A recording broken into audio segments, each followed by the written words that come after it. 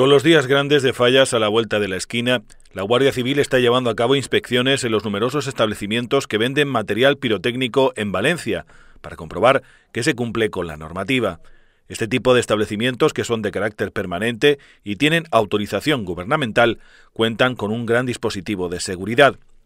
Entre las medidas de protección se incluyen un contacto magnético a la entrada del búnker en el que se almacena la pirotecnia, un detector volumétrico para detectar el movimiento y detectores sísmicos en las paredes en prevención al intento de intrusión por paredes colindantes. Este tipo de establecimientos eh, tiene unas medidas de seguridad que protege todas las partes vulnerables de acceso a él.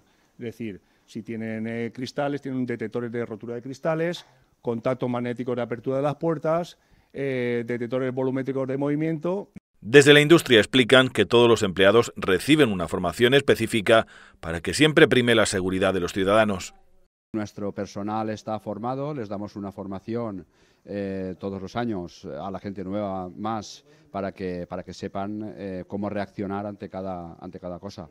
Eh, nosotros, por supuesto, nuestra máxima, y es lo primero que les decimos en la formación, es que ante todo, ante todo, ante cualquier mínimo duda, perder la venta.